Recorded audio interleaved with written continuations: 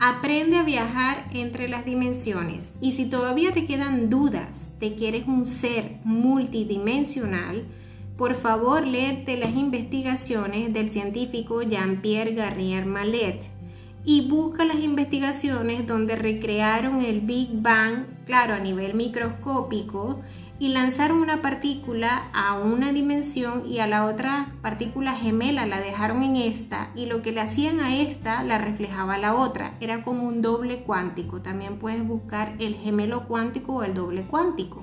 Todas esas investigaciones son bases científicas de que eres un ser multidimensional. Ahora, ¿cómo vas a viajar entre dimensiones? Bueno, piensa en algo que tú quieras lograr, un objetivo, una meta grande que tú te propongas. Por ejemplo, la casa de tus sueños. Empieza a entrar en esa dimensión. ¿Cómo lo vas a hacer? Activando los cinco sentidos. ¿Cómo huele esa casa? ¿Qué ves dentro de la casa? ¿Cómo está pintada? ¿Qué objetos hay? Activas los cinco sentidos y empiezas a hacer esa práctica constantemente. ¿Qué va a pasar? Que el doble cuántico que tienes en esa dimensión te va a empezar a enviar datos de información para que tú puedas llegar allí. Es como pistas. De repente eh, lo estás haciendo de forma consciente, o sea, estás despierto, ¿verdad?